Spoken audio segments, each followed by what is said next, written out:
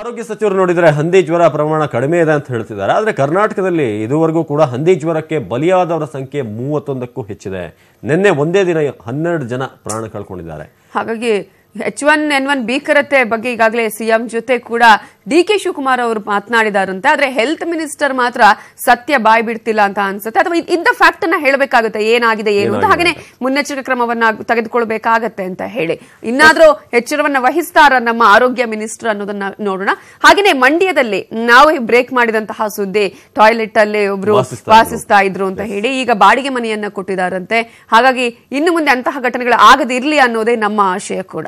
ಈಗ ಮುಂದಿನ ಸುದ್ದಿಯನ್ನು ನೋಡೋದಾದ್ರೆ, ಬಾಗಲಕೋಟೆ ಜಿಲ್ಲೆಯಲ್ಲಿ ಕಬ್ಬಿಗೆ ಬೆಂಬಲ ಬೆಲೆ ನೀಡುವಂತೆ ರೈತರ ಹೋರಾಟ ಮುಂದುವರೆದಿದೆ. ಮಧ್ಯರಾತ್ರಿ ರೈತರು ಕಬ್ಬು ಸಾಗಿಸುತ್ತಿದ್ದಂತಹ ಟ್ರ್ಯಾಕ್ಟರ್ಗಳಿಗೆ ಬೆಂಕಿ ಹಚ್ಚಿ ಆಕ್ರೋಶವನ್ನು ವ್ಯಕ್ತಪಡಿಸಿದ್ದಾರೆ. ರಸ್ತೆ ಪಕ್ಕದಲ್ಲೇ ನಾಲ್ಕು ಟ್ರ್ಯಾಕ್ಟರ್ಗಳು ಧಗಧಗನೆ ಹೊತ್ತಿ ಉರಿದಿವೆ. ಮುಥೋಳ ತಾಲೂಕಿನ ಮುಗಳಕೂಡ ಕ್ರಾಸ್ ಬಳಿ ಘಟನೆ ನಡೆದಿದ್ದು, ಕಬ್ಬಿಗೆ ಬೆಂಬಲ ಬೆಲೆ ನಿರ್ಧಾರ ಹಾಕುವವರೆಗೂ ಕೂಡ ಕಾರ್ಖಾನೆಗೆ ಕಬ್ಬನ್ನ ರವಾನಿಸದಂತೆ ರೈತರು ನಿರ್ಧಾರ ಮಾಡಿದ್ದಾರೆ. ಆದರೂ ಕೂಡ ಕೆಲವು ರೈತರು ಕಾರ್ಖಾನೆಗಳಿಗೆ ಕಬ್ಬು ರವಾನಿಸಲು ಮುಂದಾಗಿದ್ದಕ್ಕೆ ಆಕ್ರೋಶ ವ್ಯಕ್ತಪಡಿಸಿ ಟ್ರ್ಯಾಕ್ಟರ್ಗಳಿಗೆ ಬೆಂಕಿ ಹಚ್ಚಿದ್ದಾರೆ. ಬಳಿಕ ಅಗ್ನಿಶಾಮಕ ವಾಹನವನ್ನು ಕರೆಸಿ ಪೊಲೀಸರು ಬೆಂಕಿಯನ್ನು ನಂದಿಸಿದ್ದಾರೆ. ಎರಡು ಟ್ರ್ಯಾಕ್ಟರ್ ಸಂಪೂರ್ಣವಾಗಿ ಸುಟ್ಟು ಕರಕಲಾಗಿದ್ದು ಎರಡು ಟ್ರ್ಯಾಕ್ಟರ್ಗಳನ್ನ ಏನು ಬೆಂಕಿ ಹತ್ಕೊಂಡಿತ್ತಲ್ಲ, ಅದನ್ನ ನಂದಿಸಲಾಗಿದೆ.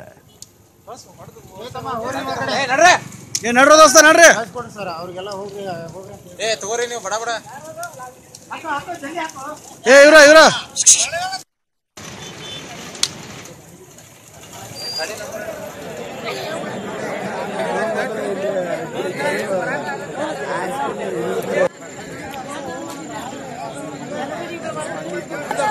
ಹಾಗೆಯೇ ಬಾಗಲಕೋಟೆಯ ಮುಧೋಳದಲ್ಲೂ ಕೂಡ ನೂರಾರು ಕಬ್ಬು ಬೆಳೆಗಾರರು ಅಹೋರಾತ್ರಿ ಪ್ರತಿಭಟನೆಯನ್ನು ಮುಂದುವರೆಸಿದ್ದಾರೆ. ಮುಧೋಳದ ತಿಮ್ಮಾಪುರ ಬಳಿ ಇರುವಂತಹ ರನ್ನ ಸಕ್ಕರೆ ಕಾರ್ಖಾನೆ ಎದುರು ರೈತರು ಅಡುಗೆ ಮಾಡಿ ಪ್ರತಿಭಟನೆ ಮಾಡ್ತಿದ್ದಾರೆ. ಪ್ರತಿ ಟನ್ಗೆ ಎರಡೂವರೆ ಸಾವಿರ ರೂಪಾಯಿ ದರವನ್ನ ನಿಗದಿ ಮಾಡಿ ಹಾಗೂ ಕಬ್ಬಿನ ಬಾಕಿ ಬಿಲ್ ಪಾವತಿಸಿ ಅಂತ ಹೇಳಿ ರೈತರು ಧರಣಿಯನ್ನ ಮಾಡ್ತಿದ್ದಾರೆ. ಅಲ್ಲದೆ ಸಕ್ಕರೆ ಕಾರ್ಖಾನೆಗೆ ಕಬ್ಬು ಸಾಗಿಸ್ತಾ ಇದ್ದ ಐದು ಟ್ರ್ಯಾಕ್ಟರ್ ಟೈರ್ಗಳಿಗೂ ಕೂಡ ಗಾಳಿ ಬಿಟ್ಟು ರೈತರು ಆಕ್ರೋಶವನ್ನ ವ್ಯಕ್ತಪಡಿಸಿದ್ದಾರೆ.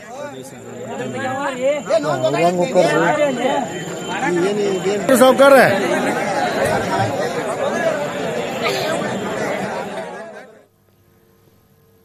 ಇನ್ನು ನಾಳೆ ಬೆಳಗಾವಿಯಲ್ಲಿ ನಡೆಯಬೇಕಿದ್ದ ಒಂದು ಕಬ್ಬು ಬೆಳೆಗಾರರ ಸಭೆ ರದ್ದಾಗಿದೆ. ನವೆಂಬರ್ ಇಪ್ಪತ್ತರೊಳಗೆ ಬೆಂಗಳೂರಿಗೆ ಬರುವಂತೆ ರೈತರಿಗೆ ಸಿಎಂ ಅವರು ಸೂಚನೆ ಕೊಟ್ಟಿದ್ರು, ಬೆಂಗಳೂರಿಗೆ ಬನ್ನಿ ಅಂತ. ಹೀಗಾಗಿ ಕಬ್ಬು ಬೆಳೆಗಾರರ ಮೀಟಿಂಗ್ ಬೆಂಗಳೂರಿಗೆ ಶಿಫ್ಟ್ ಆಗಿದೆ. ಈ ಮೊದಲು ನಾನೇ ಬೆಳಗಾವಿಗೆ ಬರ್ತೀನಿ ಅಂತ ಭರವಸೆಯನ್ನು ನೀಡಿದ್ದಂತಹ ಸಿಎಂ ಇದೀಗ ನೀವೇ ಬೆಂಗಳೂರಿಗೆ ಬನ್ನಿ ಅಂತ ಹೇಳ್ತಿದ್ದಾರೆ. ಕಬ್ಬಿನ ಬೆಂಬಲ ಬೆಲೆ ಹಾಗೂ ಬಾಕಿ ಹಣಕ್ಕಾಗಿ ರೈತರು ಅನ್ನು ನಡೆಸ್ತಾ ಇದ್ದು, ರಾತ್ರಿ ಟ್ರ್ಯಾಕ್ಟರ್ ಒಂದನ್ನು ಓಡಿಸಿದ್ದಾರೆ. ಸಿಎಂ ಬೆಳಗಾವಿ ಪ್ರವಾಸ ರದ್ದಾದ ಹಿನ್ನೆಲೆಯಲ್ಲಿ ಬೆಳಗಾವಿ ಡಿಸಿ ಕಚೇರಿಯ ಮುಂದೆ ಇಂದು ಬೆಳಗ್ಗೆ ರೈತರು ಬೃಹತ್ ಪ್ರತಿಭಟನೆಯನ್ನ ಹಮ್ಮಿಕೊಂಡಿದ್ದಾರೆ. ಸಿಎಂ ಬರಲೇಬೇಕು ಅಂತ ಪಟ್ಟು ಹಿಡಿದಿದ್ದಾರೆ.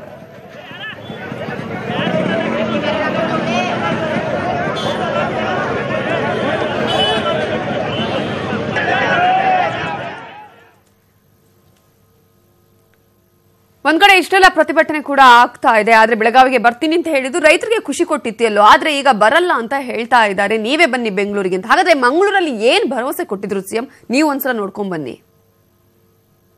ಮತ್ತು ಮುದೋಳ್ನಲ್ಲಿ ರೈತರು ಕಬ್ಬು ಬೆಳೆಗಾರರನ್ನು ಪ್ರತಿಭಟನೆ ಮಾಡ್ತಾ ಇದ್ದಾರೆ. ಅವರಿಗೆ ನಾನೇ ಈಗ ಮನವಿ ಮಾಡಿದ್ದೇನೆ, ಕೆಲವು ರೈತ ಮುಖಂಡರಿಗೆ. ಈ ಸರ್ಕಾರದಲ್ಲಿ ರೈತರೇ ಆಗಲಿ, ಯಾವುದೇ ಸಂಘಟನೆಗಳಾಗಿ ಸಂಘ, ಸಂಘಟನೆಗಳೇ ಇರಲಿ ರಸ್ತೆಯಲ್ಲಿ ಪ್ರತಿಭಟನೆ ಮಾಡ್ತಕ್ಕಂಥದ್ದು ನನ್ನ ಒಂದು ಈ ಮೈತ್ರಿ ಸರ್ಕಾರದಲ್ಲಿ ಅವಕಾಶ ಕೊಡಬಾರದು ಅನ್ನೋದು ನನ್ನ ನಿಲುವೇನಿದೆ. ಆ ರೈತರಿಗೆ ಮನವಿ ಮಾಡಿದ್ದೇನೆ, ರೈತ ಮುಖಂಡರುಗಳಿಗೆ. ಸೋಮವಾರ ಅಂಥ ಒಂದು ಅವಶ್ಯಕತೆ ಬಿದ್ದರೆ ನಾನೇ ಬರ್ತೀನಿ, ನೀವು ಸ್ಟ್ರೈಕನ್ನು ಹಿಂದಕ್ಕೆ ಪಡೀರಿ ನಾನು ಮುದೋಳು ಮತ್ತು ಬೆಳಗಾವಿ ಭಾಗದಲ್ಲಿ, ಬಾಗಲಕೋಟೆ ಜಿಲ್ಲೆಯಲ್ಲಿ ಏನು ಸಮಸ್ಯೆ ಇದೆ, ಅದನ್ನು ಸರಿಪಡಿಸ್ತಕ್ಕಂಥದ್ದಕ್ಕೆ ಖುದ್ದು ನಾನೇ ಬೆಳಗಾವಿಗೆ ಬಂದು ಚರ್ಚೆ ಮಾಡಲಿಕ್ಕೆ ತಯಾರಾಗಿದ್ದೇನೆ ಅಂತೇಳಿ ರೈತ ಮುಖಂಡರುಗಳಿಗೆ ಈಗಾಗಲೇ ದೂರವಾಣಿ ಮುಖಾಂತರ ಮಾತನಾಡಿದ್ದೇನೆ. ಸೋಮವಾರ ನೆಸೆಟಿ ಬಿದ್ದರೆ ನಾನೇ ಹೋಗ್ತಕ್ಕಂಥ ನಿರ್ಧಾರ ಏನು ಮಾಡಿದ್ದೇನೆ ಫ್ಯಾಕ್ಟ್ರಿ ಓನರ್ಗಳು ರೈತರನ್ನ ಕರೆದು ಚರ್ಚೆ ಮಾಡಿ ಇದನ್ನು ಯಾವ ರೀತಿ ಇವತ್ತು ರೈತರ ಒಂದು, ಅವರ ಒಂದು ಭಾವನೆಗಳೇನಿದೆ, ಅದಕ್ಕೆ ಸ್ಪಂದಿಸ್ತಕ್ಕಂಥದ್ದೇನಿದೆ, ಅದಕ್ಕೆ ಸಕಾರಾತ್ಮಕವಂತ ಕೆಲವು ನಿರ್ಧಾರಗಳನ್ನು ಮಾಡ್ತಾ ಬೆಳಗಾವಿ ಎಸ್ ಈಗ ಆ ಮಾತನ್ನ ಹೇಳಿದ್ರು ಈಗ ಬರ್ತಾ ಇಲ್ಲ ಅಂತ ಹೇಳ್ತಿದ್ದಾರೆ ಅಂತ ಹೇಳಿ ಒಂದು ರೀತಿಯ ಆಕ್ರೋಶ ಕಬ್ಬು ಬೆಳೆಗಾರರಲ್ಲಿ ಯಾಕಂದ್ರೆ ನಾವು ಇಷ್ಟೆಲ್ಲ ಪ್ರೊಟೆಸ್ಟ್ ಮಾಡಿದ್ವಿ ಅಂತ ಹೇಳಿ. ಜೊತೆಗೆ ಈ ಹಿಂದೆ ನಾವೇ ನ್ಯೂಸ್ ಏಟಿನ್ ಕನ್ನಡನೇ ಒಂದು ಅಭಿಯಾನವನ್ನ ಕೂಡ ಮಾಡಿತ್ತು. ಕಬ್ಬು ಬೆಳೆಗಾರರ ಬಗ್ಗೆ ಬೆಂಬಲ ಬೆಲೆ ಕೊಡಬೇಕು ಅಥವಾ ಏನ್ ದರ ನಿಗದಿ ಮಾಡಿದ್ರಿ ಈ ಹಿಂದೆ ಏನು ಬಾಕಿ ಇದೆ ಅದನ್ನ ಕೂಡ ಕೊಡಬೇಕು ಅಂತ ಹೇಳಿ ಆವಾಗ ಸಿಎಂ ಕೂಡ ಹೇಳಿಕೆಯನ್ನ ಕೊಟ್ಟಿದ್ರು ಮಾತಿನ ಹೇಳಿಕೆ ಬೈಟ್ ಹೇಳಿಕೆ ಕೂಡ ಕೊಟ್ಟಿದ್ರು. ನಾವೇ ನಾನು ಖುದ್ದಾಗಿ ನಾನು ಈ ಸಮಸ್ಯೆಯನ್ನ ಬಗೆಹರಿಸ್ತೀನಿ ಒಂದೆರಡು ದಿನದಲ್ಲಿ ಅಂತ ಹೇಳಿ. ನಾವು ಕೂಡ ಮತ್ತೆ ಮತ್ತೆ ಫಾಲೋ ಅಪ್ ಮಾಡ್ತಾನೆ ಹೋದ್ವಿ ಆದ್ರೆ ಇಲ್ಲಿಯವರೆಗೂ ಕೂಡ ಆ ಸಮಸ್ಯೆಗೆ ಪರಿಹಾರ ಕಂಡಿಲ್ಲ ಅಂತ ಹೇಳಿ. ಹಾಗಾಗಿ ಎಲ್ಲರೂ ಕೂಡ ಶುಗರ್ ಫ್ಯಾಕ್ಟರಿ ಓನರ್ಸ್ ಇರೋದು ರಾಜಕಾರಣಿಗಳೇ. ಅವರ ಅಂಡರ್ ಅಲ್ಲೇ ಇರುವಂತದ್ದು. ಹೀಗಾಗಿ ಇನ್ನಾದ್ರೂ ಈ ಸಮಸ್ಯೆ ಬಗ್ಗೆ ಹರಿಯತ್ತ ಮತ್ತಷ್ಟು ಪ್ರೊಟೆಸ್ಟ್ ಆಗೋದಕ್ಕಿಂತ ಮುಂಚೆ ಸರ್ಕಾರ ಎಚ್ಚರಿಕೆಯನ್ನು ವಹಿಸುತ್ತಾ ಅನ್ನೋದನ್ನ ನೋಡಬೇಕಾಗುತ್ತೆ ಇಲ್ಲಿ. ಈಗ ಮುಂದಿನ ಸ್ಟೋರಿಯನ್ನು ನೋಡೋಣ. ಕನ್ನಡ ಮತ್ತು ಸಂಸ್ಕೃತಿ ಇಲಾಖೆಯಿಂದ ಆಯೋಜಿಸಿದ್ದಂತ ಮನೆ ಅಂಗಳದಲ್ಲಿ ಮಾತುಕತೆ ಕಾರ್ಯಕ್ರಮದಲ್ಲಿ ಮಾಜಿ ಪ್ರಧಾನಿ ಎಚ್ ಡಿ ದೇವೇಗೌಡರು ಮನದಾಳದ ಮಾತನ್ನ ತೆರೆದಿಟ್ಟಿದ್ದಾರೆ. ರವೀಂದ್ರ ಕಲಾಕ್ಷೇತ್ರದಲ್ಲಿ ನಡೆದ ಕಾರ್ಯಕ್ರಮದಲ್ಲಿ ಸಾಕಷ್ಟು ವಿಚಾರಗಳ ಬಗ್ಗೆ ಮಾತನಾಡಿದ ಅವರು, ಮರಣದ ಬಗ್ಗೆ ವಿಶೇಷವಾಗಿ ಮಾತನಾಡಿದ್ದಾರೆ. ನನಗೆ ಅನಾಯಾಸ ಮರಣ ಬೇಕು, ಅದೊಂದೇ ನಾನು ಬಯಸೋದು ಅಂತ ಹೇಳಿದ್ದಾರೆ. ಅಲ್ಲದೆ ಪತ್ನಿ ಚೆನ್ನಮ್ಮ ಕಷ್ಟ ಕಾಲದಲ್ಲಿದ್ದಾಗ ಚಿನ್ನ ಮಾರಿ ಸಹಾಯ ಮಾಡಿದ್ರು ಅಂತ ಕೂಡ ಹೇಳುವಾಗ ಅವರು ಸ್ವಲ್ಪ ಭಾವುಕರಾದ್ರು. ಇನ್ನು ನಾನು ರಾಜಕೀಯ ಬಿಡಲ್ಲ, ಶಕ್ತಿ ಇರೋ ತನಕ ರಾಜಕೀಯದಲ್ಲಿ ಇರ್ತೇನೆ ಅಂತ, ರಾಜಕೀಯ ಆಗಲ್ಲ ಅಂದಾಗ ವಿಶ್ರಾಂತಿ ಪಡೀತೀನಿ ಅಂತ ಹೇಳಿದರು. ನಾನು ಯಾರಿಗೂ ಮೋಸ ಮಾಡಿಲ್ಲ, ಭ್ರಷ್ಟಾಚಾರ ಮಾಡಿಲ್ಲ. ಎಂದಿರುವಂತ ದೇವೇಗೌಡರು ದಿವಂಗತ ಸಿಎಂ ದೇವರಾಜ ಅರಸು ಬಗ್ಗೆಯೂ ಸಾಕಷ್ಟು ವಿಚಾರಗಳ ಬಗ್ಗೆ ಹೇಳಿಕೊಂಡಿದ್ದಾರೆ. ನನ್ನ ಲೈಫೇನೆ ಒಂದು ಇತಿಹಾಸ, ಪ್ರಾರಬ್ಧ, ಯಾರ್ಯಾರು ಏನೇನು ಮಾಡಿದ್ದಾರೆ, ಏನೇನಾಗಿದೆ, ಯಾರನ್ನೂ ನಿಂದನೆ ಮಾಡಿ ಪ್ರಯೋಜನ ಇಲ್ಲ. ಇದು ಪ್ರಾರಬ್ಧ ಅಂತ ಹೇಳ್ತೀನಿ. ಹ್ಯಾವ್ ಟು ಸಫರ್ ಆ ಸಫರ್ ಮಾಡೇ ಹೋಗು. ಏನು ಮಾಡೋಕ್ಕಾಗಲ್ಲ. ಹಾಗಿದ್ರೆ ನಾಳೆ ಬೆಳಿಗ್ಗೆ ರಾಜಕೀಯದ ದೂರ ಸರಿತೀಯ ಅಂದರೆ ದೂರ ಸರಿಯೋದಿಲ್ಲ. ಅದು ನಿಮ್ಗೆ ಹೇಳಿರ್ತೇನೆ. ದೂರ ಸರಿಯೋದು ನನ್ನ ಸ್ವಭಾವ ಇಲ್ಲ. ಶಕ್ತಿ ಇರೋವರೆಗೆ ಹೋಗ್ತೇನೆ. ಶಕ್ತಿ ಕುಸ್ತು ಹೋದ್ಮೇಲೆ ನ್ಯಾಚುರಲ್ಲೇ ಟು ಟೇಕ್ ರೆಸ್ಟ್. ಒಂದು ಕೊನೆ ಮಾತು ಹೇಳ್ತೀನಿ. ಅನಾಯಾಸ ಮರಣ ಬೇಕು ನನಗೆ. ಎಸ್ ಅನಾಯಾಸ ಮರಣ ಬೇಕು ಅನ್ನುವಂಥದ್ದು. ಅವರ ಇಚ್ಛಾಶಕ್ತಿಯನ್ನ ಕೂಡ ನಾವಿಲ್ಲಿ ನೆನಪಿಸ್ಕೊಳ್ಬೇಕಾಗತ್ತೆ. ಎಷ್ಟು ಒಂದು ಇಚ್ಛಾಶಕ್ತಿ ಇದೆ ಏನೇ ಮಾಡಬೇಕು. ಈಗಲೂ ಕೂಡ ರಾಜಕೀಯ ಬೇರೆ ಯಾರಾದರೂ ಆಗಿದ್ರೆ ಯಾವತ್ತೂ ರಿಟೈರ್ಡ್ ತಗೊಳ್ತಾ ಇದ್ರು ಅಂತ ಹೇಳಿ ಈಗಲೂ ಕೂಡ ಸಂಘಟನೆಯನ್ನ ಅಥವಾ ಪಕ್ಷವನ್ನ ಸಂಘಟಿಸುವಂತಹ ಶಕ್ತಿ. ಈ ಹಿಂದೆ ಮಾತನಾಡುವಾಗ ಅವ್ರು ತುಂಬಾ ಸಲ ಹೇಳ್ತಾ ಇದ್ರು. ಅಂದ್ರೆ ತುಂಬಾ ನೊಂದಿದ್ ನಾನು ಯಾವಾಗ ಅಂತ ಹೇಳಿದ್ರೆ ಅದು ಸಿಎಂ ಆಗಿ ಕುಮಾರಸ್ವಾಮಿ ಅವರು ಯಾವಾಗ ಬಿಜೆಪಿ ಜೊತೆ ಹೋದ್ರು ಆ ಸಂದರ್ಭದಲ್ಲಿ ನಾನು ತುಂಬಾ ನೊಂದ್ಕೊಂಡಿದ್ದೆ. ಹಾಸ್ಪಿಟಲೈಸ್ ಆಗಿದ್ರಂತೆ ಆ ಸಂದರ್ಭದಲ್ಲಿ. ಅವರ ಹೆಂಡತಿ ಚಿನ್ನಮ್ಮ ಅವರು ಕೂಡ ಹೇಳ್ತಾರೆ ಆ ಸಂದರ್ಭದಲ್ಲಿ ಅದು ನಮ್ಮ ಜೀವನದಲ್ಲಿ ಒಂದು ರೀತಿಯ ಕೆಟ್ಟ ಘಟನೆ ಅಂತ ಹೇಳಿ. ಅನಾಯಾಸ ಮರಣದ ಬಗ್ಗೆ ಕೂಡ ಮಾತನಾಡಿದ್ದಾರೆ ಈ ಸಂದರ್ಭದಲ್ಲಿ ಅಂತ ಹೇಳಿ. ಅದೇ ರೀತಿಯಾಗಿ ಅನಾರೋಗ್ಯದಿಂದ ಮನೋಹರ್ ಪರಿಕರ್ ಅವರು ಈಗ ಮುಖ್ಯಮಂತ್ರಿ ಹುದ್ದೆಯನ್ನು ನಿರ್ವಹಿಸೋಕೆ ಆಗ್ತಾ ಇಲ್ಲ. ಆದ್ರಿಂದ ಸಚಿವ ಧವಳೀಕರ್ ಅವರಿಗೆ ಸಿಎಂ ಹುದ್ದೆಯನ್ನು ನೀಡಬೇಕು ಅಂತ ಈಗ ಬಿಜೆಪಿಯ ಮಿತ್ರ ಪಕ್ಷ ಮಹಾರಾಷ್ಟ್ರವಾದಿ ಗೋಮಾಂತಕ ಪಾರ್ಟಿ ಒತ್ತಾಯವನ್ನು ಮಾಡ್ತಾ ಇದೆ. ಮನೋಹರ್ ಪರಿಕರ್ ಅವರಿಗೆ ಆಗ್ತಾ ಇಲ್ಲ. ಒಂದು ಅನಾರೋಗ್ಯದ ಕಾರಣ ಬೇರೆಯವರಿಗೆ ವಹಿಸಿ ಅಂತ ಅವ್ರು ಹೇಳ್ತಾ ಇರೋದು. ಎಸ್ ಏನಾಗುತ್ತೆ ನೋಡೋಣ. ಇನ್ನು ಮುಂದಿನ ಸುದ್ದಿ ನೋಡೋದಾದ್ರೆ ಇಂಜಿನಿಯರಿಂಗ್ ವಿದ್ಯಾರ್ಥಿಯೊಬ್ಬ ಕಾಲೇಜು ಕಟ್ಟಡದ ಆರನೇ ಮಹಡಿಯಿಂದ ಹಾರಿ ಆತ್ಮಹತ್ಯೆಯನ್ನು ಮಾಡಿಕೊಂಡಿರುವಂತಹ ಘಟನೆ ಮಂಗಳೂರಲ್ಲಿ ನಡೆದಿದೆ. ಸುರತ್ಕಲ್ನ ಎನ್ಐಟಿಕೆ ಇಂಜಿನಿಯರಿಂಗ್ ಕಾಲೇಜಲ್ಲಿ ಈ ಘಟನೆ ನಡೆದಿದ್ದು, ಮಹಾರಾಷ್ಟ್ರದ ಲಾತೂರ್ನ ತೃತೀಯ ವರ್ಷದ ವಿದ್ಯಾರ್ಥಿ ಆನಂದ್ ಪಾಠಕ್ಗೆ ಹಾಜರಾತಿ ಕೊರತೆಯಿಂದ ಸೆಮಿಸ್ಟರ್ ಪರೀಕ್ಷೆಗೆ ಅವಕಾಶವನ್ನ ನಿರಾಕರಿಸಿದ್ರು ಎನ್ನಲಾಗಿದೆ. ಅಲ್ಲದೆ ಉಪನ್ಯಾಸಕ ಮರ್ವಿನ್ ನಿನ್ನೆ ಮಧ್ಯಾಹ್ನ ಕರೆದು ಅವಮಾನ ಮಾಡಿದ್ರು ಅಂತ ಹೇಳಲಾಗ್ತಿದ್ದು. ಇದರಿಂದ ಮನನೊಂದ ವಿದ್ಯಾರ್ಥಿ ಆರನೇ ಮಹಡಿಯಿಂದ ಹಾರಿ ಆತ್ಮಹತ್ಯೆ ಮಾಡಿಕೊಂಡಿದ್ದಾನೆ. ಉಪನ್ಯಾಸಕರ ವಿರುದ್ಧ ವಿದ್ಯಾರ್ಥಿಗಳು ತಡರಾತ್ರಿವರೆಗೂ ಕೂಡ ಪ್ರತಿಭಟನೆಯನ್ನ ನಡೆಸಿದ್ದಾರೆ.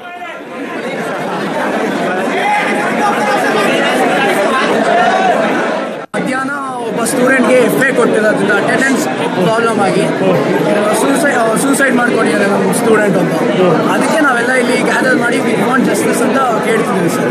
ಎಲ್ಲಾದ್ರೂ ಹೇಳೋ ಪ್ರಕಾರ ಅಟೆಂಡೆನ್ಸ್ ಇಶ್ಯೂನೇ ಕಾರಣ ಬಟ್ ಒಳಗಡೆ ಏನು ನಡೀತು ಅಂತ ನಮಗೆ ಇನ್ನೂ ಕರೆಕ್ಟಾಗಿ ಏನೂ ಗೊತ್ತಿಲ್ಲ ಸರ್. ಇದು ಆ್ಯಕ್ಚುಲಿ ಅಟೆಂಡೆನ್ಸ್ ಶಾರ್ಟೇಜ್ ಇದೆ ಅಂತ ಮುಂಚೆನೇ ವಾರ್ನಿಂಗ್ ಕೊಡಬೇಕು ಬಟ್ ವಾರ್ನಿಂಗ್ ಏನು ಕೊಟ್ಟಿಲ್ಲ ಇವಾಗ. ಎಕ್ಸಾಮ್ ಬರೆಯೋಂಗಿಲ್ಲ ಅಟೆಂಡೆನ್ಸ್ ಶಾರ್ಟೇಜ್ ಇದೆ ಅಂತ ಕೊಟ್ಟಿದ್ದಾರೆ notice So let me inform you that the investigation is already on, parallelly by the institution as well as by the, police who have really come to the place. So we are waiting for the investigation to give us the. Yes ಇದು ಕರಾವಳಿಯಲ್ಲಿ ಆಗಾಗ ಹಲವಾರು ಕಾಲೇಜ್ಗಳಲ್ಲಿ ಇಂಥದ್ದು ಕೇಳಿ ಬರುತ್ತೆ. ಕೆಲವೊಂದು ಕಡೆ ಆತ್ಮಹತ್ಯೆ ಕೆಲವೊಂದ್ಸಲ ಏನೋ ಈಗ ಕಾಲೇಜ್ ಅವರೇ ಏನೋ ಮಾಡ್ತಿದ್ದಾರೆ ಟಾರ್ಚರ್ ಕೊಟ್ಟು ಅಂತ. ಇದು ಅಲ್ಲೇ ಯಾಕೆ ಆಗ್ತಿದೆ ಅನ್ನೋದು ಈಗ ಪ್ರಶ್ನೆ. ಸಾಕಷ್ಟು ಈ ಹಿಂದೆ ಕೂಡ ಹಲವಾರು ಪ್ರಕರಣಗಳು ಆಗಿದಾವೆ. ಪ್ರತಿಭಟನೆ ನಡೆದಿವೆ ಇನ್ವೆಸ್ಟಿಗೇಷನ್ ಆಗಬೇಕು ಅನ್ನುವಂಥದ್ದಾಗಿದೆ. ಅದು ಕೆಲವೊಂದ್ ಕಡೆ ಕೇಸ್ ಮುಚ್ಚಿ ಹಾಕಿಸಬೇಕು ಅಂತ ಪ್ರಯತ್ನಗಳಾಗಿದೆ. ಆ ರೀತಿ ಸಾಕಷ್ಟು ವಿಚಾರಗಳು ಇಲ್ಲಿ ಆಗ್ತಿರುತ್ತೆ. ಜೊತೆಗೆ ಅಲ್ಲಿ ಎಜುಕೇಶನ್ ಇನ್ಸ್ಟಿಟ್ಯೂಟ್ಗಳು ಕೂಡ ಜಾಸ್ತಿ ಕರಾವಳಿಯಲ್ಲಿ. ಒಳ್ಳೆ ಎಜುಕೇಶನ್ ಕೂಡ ಸಿಗುತ್ತೆ. ಜೊತೆಗೆ ಇಂತಹ ಘಟನೆಗಳು ಕೂಡ ಆಗುತ್ತೆ. ನಿಜಕ್ಕೂ ನೋವಿನ ವಿಚಾರ. ಮುಂದಿನ ಸುದ್ದಿ ನೋಡೋದಾದ್ರೆ ಕ್ಷಣ ಕ್ಷಣಕ್ಕೂ ಕ್ಷೀಣಿಸ್ತಾ ಇರುವಂತಹ ಬಿಬಿಎಂಪಿಯ ಸಗಾಯಪುರಂ ವಾರ್ಡ್ ಕಾರ್ಪೊರೇಟರ್ ಆರೋಗ್ಯದ ಬಗ್ಗೆ ಇರುವಂತಹ ಗೊಂದಲ ದೂರ ಆಗ್ತಾನೆ ಇಲ್ಲ. ಅವರಿಗೆ ಏನಾಗಿದೆ? ಆರೋಗ್ಯ ಸ್ಥಿತಿ ಹೇಗಿದೆ ಅನ್ನೋ ಮಾಹಿತಿ ಅವರ ವಾರ್ಡ್ ಜನರಿಗಷ್ಟೇ ಅಲ್ಲ, ಸ್ವತಃ ಮೇಯರ್ಗೂ ಗೊತ್ತಾಗ್ತಿಲ್ಲ.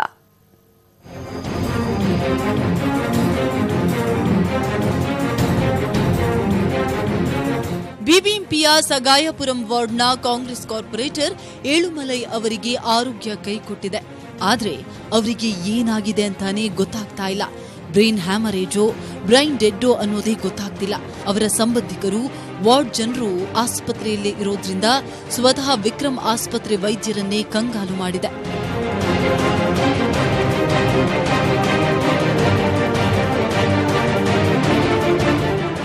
ಏನೂ ವಿಷಯವನ್ನ ಬಹಿರಂಗ ಮಾಡದಂತೆ ಏಳುಮಲೈ ಸಹೋದರ ವೈದ್ಯರಿಗೆ ಎಚ್ಚರಿಕೆ ನೀಡಿದ್ದಾರೆ ಎನ್ನಲಾಗಿದೆ.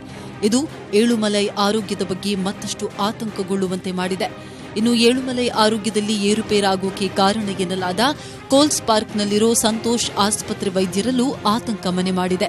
ಕೂಡಲೇ ಏಳುಮಲೈ ಆರೋಗ್ಯದ ಬಗ್ಗೆ ವಾರ್ಡ್ ಜನರಿಗಾದರೂ ಮಾಹಿತಿ ನೀಡಬೇಕಿದೆ. Thomas Pushparaj, news eighteen Kannada, Bengaluru. Sabarimala Ayyappa ದರ್ಶನದ ವಿಚಾರದಲ್ಲಿ ಗೊಂದಲ. ನಾನು ಹೇಳ್ತಿದ್ದಾಗೆ ಬ್ರೇಕ್ಗೆ ಮುಂಚೆ ಯಾಕೋ ಒಂಥರ ಕಗ್ಗಂಟಾಗಿ ಉಳಿತಾ ಇದೆ. ಇಲ್ಲಿವರೆಗೂ ಕೂಡ ಮಹಿಳೆಯರಿಗೆ ದರ್ಶನಕ್ಕೆ ಅವಕಾಶವನ್ನು ಕೊಟ್ಟಿಲ್ಲ. ಹಾಗಾಗಿ ಮುಂದಿನ ಬಾರಿ ಗೆರಿಲ್ಲಾ ತಂತ್ರದಿಂದ ಅಯ್ಯಪ್ಪನ ದರ್ಶನವನ್ನ ಪಡಿತೇವೆ ಅಂತ ಮಹಿಳಾ ಕಾರ್ಯಕರ್ತೆ ತೃಪ್ತಿ ದೇಸಾಯಿ ಹೇಳಿದ್ದಾರೆ. ಇನ್ನು ಇರುಮುಡಿ ಹೊತ್ತು ಶಬರಿಮಲೆಯತ್ತ ಸಾಗುತ್ತಿದ್ದ ಹಿಂದೂ ಐಕ್ಯವೇದಿ ರಾಜ್ಯಾಧ್ಯಕ್ಷೆ ಕೆಪಿ ಶಶಿಕಲಾ ಅವರನ್ನ ಪೊಲೀಸರು ಬಂಧಿಸಿರುವುದನ್ನ ವಿರೋಧಿಸಿ ಹಿಂದೂ ಪರ ಸಂಘಟನೆಗಳು ಇಂದು ಕೇರಳ ಬಂದ್ಗೆ ಕರೆ ಕೊಟ್ಟಿವೆ. ಬೆಳಗ್ಗೆ ಆರು ಗಂಟೆಯಿಂದ ಸಂಜೆ ಆರು ಗಂಟೆಯವರೆಗೂ ಬೆಂಬಲ ನೀಡುವಂತೆ ಸಾರ್ವಜನಿಕರಿಗೆ ಮನವಿ ಮಾಡಿದ್ದಾರೆ. ಈ ನಡುವೆ ಮಹಿಳಾ ಕಾರ್ಯಕರ್ತೆಯರು ಶಬರಿಮಲೆಗೆ ತೆರಳಲು ಯಾಕಿಷ್ಟು ಉತ್ಸುಕತೆಯನ್ನು ತೋರಿದ್ದಾರೆ ನನಗೆ ತಿಳಿತಾ ಇಲ್ಲ ಅಂತ ದೇಶದಲ್ಲಿ ಮಹಿಳೆಯರು ಇದಕ್ಕಿಂತಲೂ ಗಂಭೀರವಾದ ಸಮಸ್ಯೆಗಳನ್ನು ಎದುರಿಸ್ತಾ ಇದ್ದಾರೆ ಅಂತ ಖ್ಯಾತ ಲೇಖಕಿ ಮಹಿಳಾ ಪರಚಿಂತಕಿ ತಸ್ಲಿಮಾ ನಸರೀನ್ ಟ್ವೀಟ್ ಮಾಡಿದ್ದಾರೆ.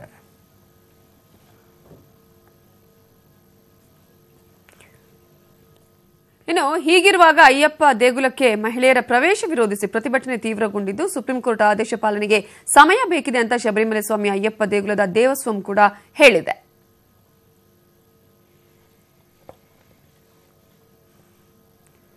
ಮರುಪರಿಶೀಲನಾ ಅರ್ಜಿ ಬರುವವರೆಗೂ ಕೂಡ ಇದೇ ಸಿಚುವೇಶನ್ ಇದೆ ಆಗುತ್ತೆ ಅನ್ಸುತ್ತೆ. ಯಾಕಂದ್ರೆ ಜನವರಿವರೆಗೆ ಮರುಪರಿಶೀಲನಾ ಅರ್ಜಿ ಬರುವಂತದ್ದು ಹಾಗಾಗಿ ಅಲ್ಲಿವರೆಗೂ ಕೂಡ ಇಲ್ಲ ನಾವು ಬಿಡ್ತೀವಿ ಬಿಡಲ್ಲ ಅನ್ನುವಂಥದ್ದು ಸಿಚುವೇಶನ್ ನಿರ್ಮಾಣ ಆಗುತ್ತೇನೋ ತಸ್ಲಿಮಾ ನಸ್ರಿನ್ ಅವರ ಕೂಡ ಒಂದು ಟ್ವೀಟ್ ಅಂದ್ರೆ ಎಲ್ಲೋ ಒಂದ್ ಕಡೆ ನಾವು ಹೋರಾಡ್ತಾ ಇದೀವಿ. ಆದ್ರೆ ಇಂತಹ ಸಮಸ್ಯೆಗಳನ್ನು ದೊಡ್ಡ ದೊಡ್ಡ ಸಮಸ್ಯೆಗಳನ್ನು ಬಿಟ್ಟು ಇದಕ್ಕೆ ಯಾಕೆ ಹೋರಾಡ್ತೀರಿ?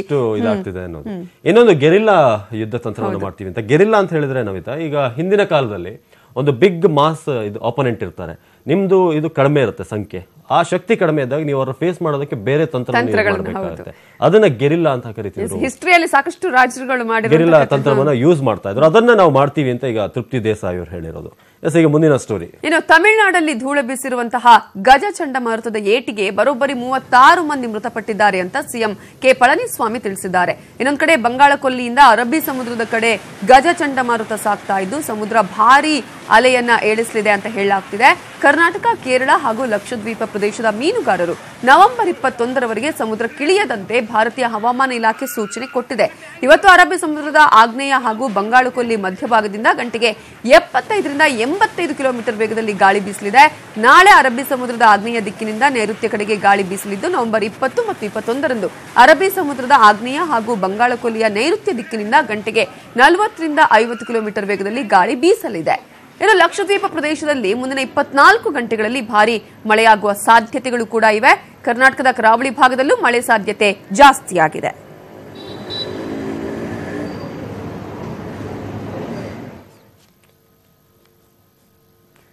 ನವೆಂಬರ್ ಹತ್ತೊಂಬತ್ತರ ಬಳಿಕ ವಾಯುಭಾರ ಕುಸಿತ ಚಂಡಮಾರುತವಾಗಿ ಪರಿವರ್ತನೆಗೊಳ್ಳುವಂತಹ ಸಾಧ್ಯತೆ ಕೂಡ ಇದೆ ಅಂತ ಹೇಳಾಗ್ತದೆ ಈಗಾಗಲೇ ಏನೂ ಹೇಳಲು ಸಾಧ್ಯವಿಲ್ಲ ಅಂತ ಹೇಳಿದಾರಂತೆ. ಕರ್ನಾಟಕ ರಾಜ್ಯ ನೈಸರ್ಗಿಕ ವಿಕೋಪ ಉಸ್ತುವಾರಿ ಕೇಂದ್ರದ ವಿಜ್ಞಾನಿ ಡಾಕ್ಟರ್ ಎಸ್ ಎಸ್ ಗವಾಸ್ಕರ್ ಅವರು ಹೇಳಿದ್ದಾರೆ ಇದು ಕೂಡ ಒಂದು ರೀತಿಯಾಗಿ ಆತಂಕವನ್ನು ಉಂಟು ಏನಾಗುತ್ತೋ ಏನು ಅಂತ ಹೇಳಿ. ಪ್ರತಿದಿನ ಒಂದೊಂದು ರೀತಿಯ ಮಾಹಿತಿ ಹೊರ ಬೀಳ್ತಾನೆ ಇದೆ. ಇನ್ನೊಂದು ಹವಾಮಾನ ಇಲಾಖೆ ಒಂದೊಂದು ರೀತಿಯ ಹೇಳಿಕೆಗಳನ್ನು ಕೂಡ ಕೊಡ್ತಾ ಇದೆ. ಹಾಗಾಗಿ ಜಾಗ್ರತೆ ಇರಬೇಕಾಗಿರೋದು ನಾವು ಅಂತ ಹೇಳಿ. ನಾವೆಲ್ಲವನ್ನ ಕೂಡ ಡಿಪಾರ್ಟ್ಮೆಂಟ್ ಮೇಲೆ ಹಾಕೋದಿಕ್ಕಾಗೋದಿಲ್ಲ ಈ ಸಂದರ್ಭದಲ್ಲಿ ಅಂತ ಹೇಳಿ.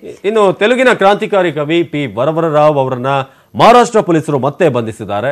ಭೀಮಾ ಕೊರಗಾಂ ಹಿಂಸಾಚಾರಕ್ಕೆ ಪ್ರಚೋದನೆ ಹಾಗೂ ಪ್ರಧಾನಿ ಮೋದಿ ಹತ್ಯೆಗೆ ಸಂಚು ರೂಪಿಸಿದ ಆರೋಪದಲ್ಲಿ ಅವರನ್ನ ಗೃಹ ಬಂಧನದಲ್ಲಿ ಇಡಲಾಗಿತ್ತು. ಆದರೆ ಇದೀಗ ವರವರರಾವ್ ಬಂಧನ ವಿಸ್ತರ, ವಿಸ್ತರಣೆ ಆಗಿರೋದ್ರಿಂದ, ಅಂತ್ಯಗೊಂಡಿರೋದ್ರಿಂದ ಅವರನ್ನ ಪುಣೆ ಪೊಲೀಸರು ವಶಕ್ಕೆ ಪಡೆದಿದ್ದಾರೆ. ಈ ವೇಳೆ ಕುಟುಂಬಸ್ಥರು ಬಂಧನ ವಿರೋಧಿಸಿ ಪ್ರತಿಭಟನೆ ನಡೆಸಿದ್ದಾರೆ.